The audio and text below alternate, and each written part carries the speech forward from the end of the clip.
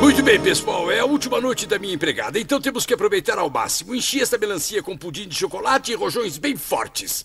Ei, Maggie, poderia segurar isso pro papai? Tá. Por quê? É, é um presente. É uma melancia de agradecimento por ser um amorzinho. Então, segura pro papai? Tá, claro. Que esquisito. Será que eu devo comer isso? Ah!